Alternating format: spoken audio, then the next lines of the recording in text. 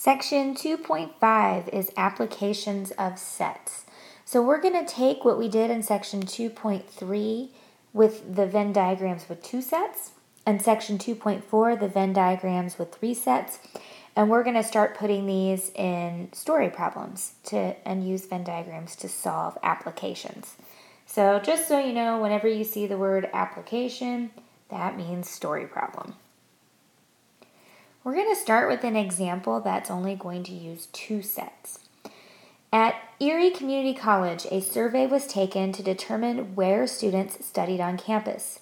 Of those 250 surveyed, it was determined that 167 studied in the library, 138 studied in the cafeteria, and 75 studied in both the library and the cafeteria. So first thing we need to do in this situation is we need to develop a Venn diagram. So I'm going to make us some room. We need to draw our universal set. Our universal set is going to be um, all the students we surveyed about where they study. Okay. And then um, we have one set that is going to involve the library and we have one set that is going to involve the cafeteria. And then the outside represents students that study somewhere besides the library and the cafeteria. Now, in general, you want to start with the middle region. You want to start with the students that studied in both the library and the cafeteria. And according to this survey, 75 students studied in both. So that's going to go in the middle. Once you have that placed, you can work your way out. Okay, so we know that there was 167 students in the library um, that studied in the library total. Now that includes the 75 that's already in the center wedge. So we need to take the 167 and deduct the middle portion to find out how many study in the library and the library only.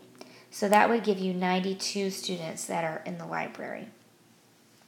Then we need to look at the cafeteria. 138 students study in the cafeteria. Again, that includes the 75 that's already been accounted for in the middle. So we need to subtract to find out how many just go to the cafeteria. And that is 63 students. Now we need to decide if any students should go on the outside of the circle. So we surveyed 250 people. 92 of them only study in the library. 75 of them study in both the library and the cafeteria. And 63 study only in the cafeteria. So if we deduct all three of those figures from 250, you will see that there's 20 students left over. So out of the 250 people surveyed, 20 people don't study in the library or the cafeteria.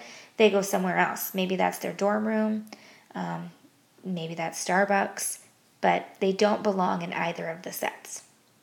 Okay, now that you have your Venn diagram created, you can start answering questions, and they'll typically um, have some questions for you after the Venn diagrams made. Okay, so the first question of those surveyed, how many people did not study in either the library or the cafeteria? Okay, so the people that didn't do either is going to be um, the people that landed in the um, rectangle but not in the circle. Okay, so you can say that 20 people um, studied in neither. Okay, second question. Of those surveyed, how many people studied in the library but not the cafeteria? Okay, so those are going to be the people that are in the library bubble but not the double lapping bubble. So that would be 92. Of those surveyed, how many studied in the cafeteria but not the library? So again, you want to be in the cafeteria bubble but not the library bubble. So that would be 63. And last, how many studied in either the library or the cafeteria? So that means they could have been library only, they could have been both library or cafeteria, or they could have been just the cafeteria. And if you add those together, that should be 230 people. Next, to make it a bit more in depth, they're going to start bumping this up to um, story problems that have three sets. In general, the procedure is going to be the same. You want to start by completing Region 5. So, in case you don't remember, Region 5 is the triple area in the middle. So, if you can, you want to try to find where they all have something in common in the middle. Um, after you have that, then you want to work your way to the outside and deal with the double regions. Next, after you have the double regions, then you want to go to the singles. And then last, you want to figure out what goes on the outside um, that doesn't belong in any of the three circles. So let's look at a problem. Liberty Travel surveyed 125 potential customers. The following information was obtained. 68 wished to travel to Hawaii, 53 wished to travel to Las Vegas, 47 wished to travel to Disney World, 34 wished to travel to Hawaii and Las Vegas, 26 wished to travel to Las Vegas and Disney World, 23 wished to travel to Hawaii and Disney World, and 18 wished to travel to all three destinations. Okay, so let's scoot this out of the way and let's develop our Venn diagram. So we're going to need a bubble for Hawaii. That's where I'm going to go. A bubble for Las Vegas. And a bubble for Disney World.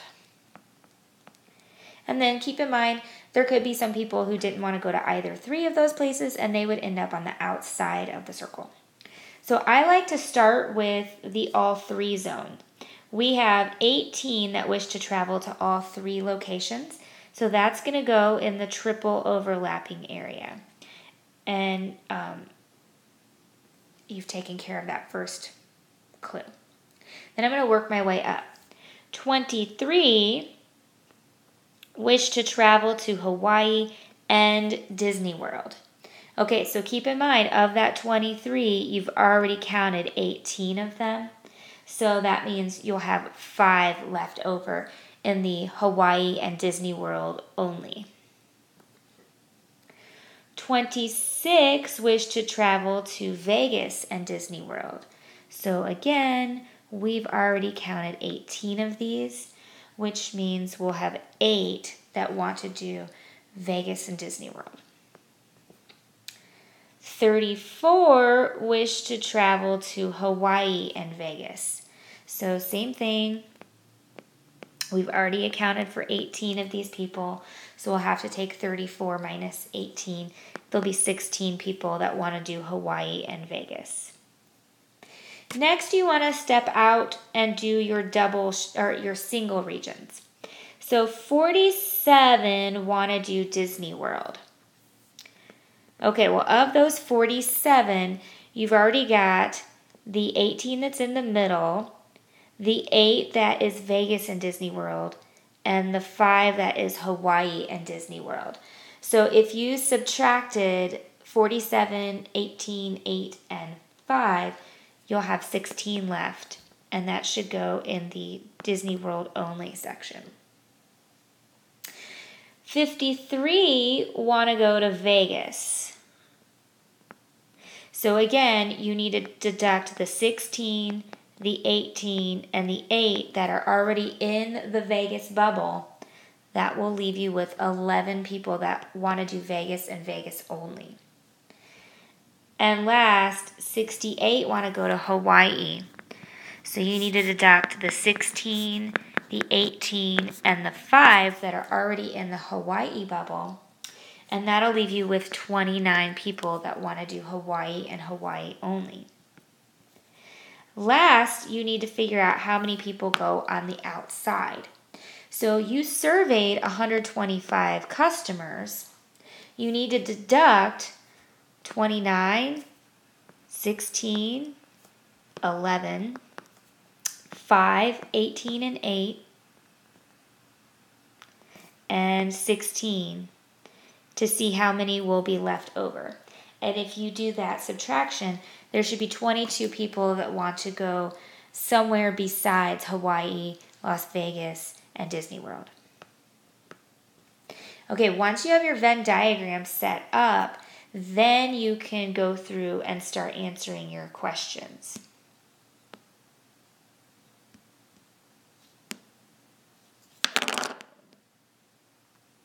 Ah, sorry.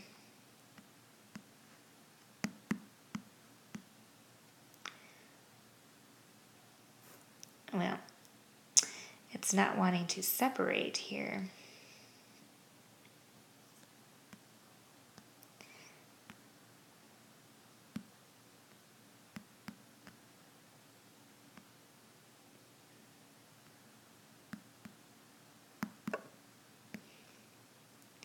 Okay, sorry, I'll read you the questions because I cannot pull them up for some reason. It's latched onto something and it's not going to move.